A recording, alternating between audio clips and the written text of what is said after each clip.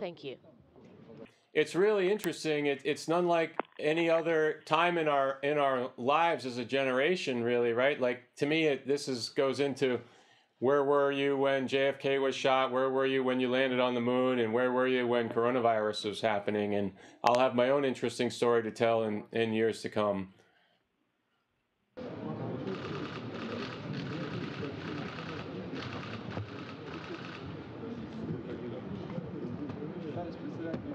Esteemed Chairman of the State Commission, Prime Crew of Expedition 63 is ready for the final exams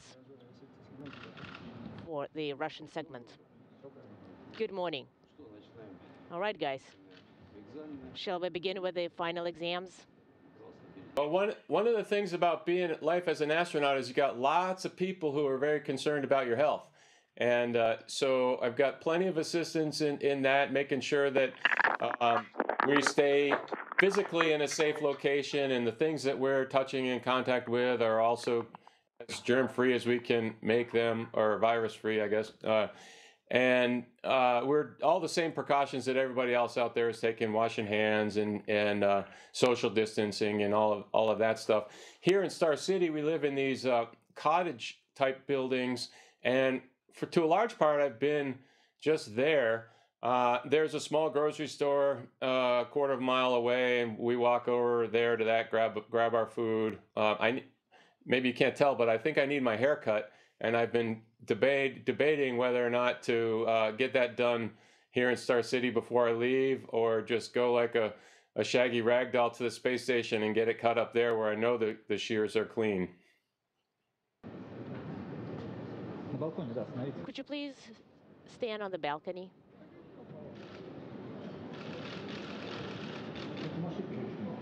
Could you wave? Thank you, guys. Good luck. Uh, what won't be normal is, as you indicated, on, on launch day when there's normally throngs of people there and cheering and, and uh, ha- slapping us uh, on the back as we're uh, loading up the buses and music playing. And then when we get to the building where we put our suits on, that's where we have managers and family members. Although they're behind the glass, they're still there.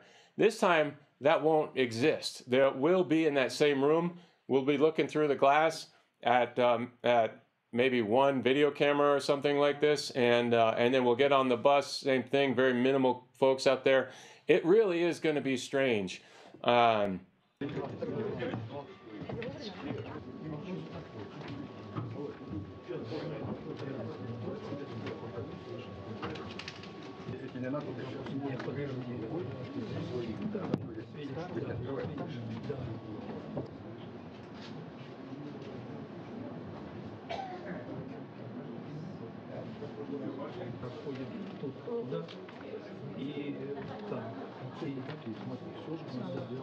All right, and they have completed the part on life support. Товарищ председатель экзаменационной комиссии, Chairman of the State Commission, Expedition 63 Prime Crew, Well, for I, I was I was crushed actually that we were swapping because I the person the two people that were my crewmates uh, before were my really dear friends, and uh, I was so looking forward to spending six months on board the space station with them, and then to hear that it was a medical uh, accident just made it even more unfortunate for uh, just you can't predict life is precious i guess and just savor every day is what it made me realize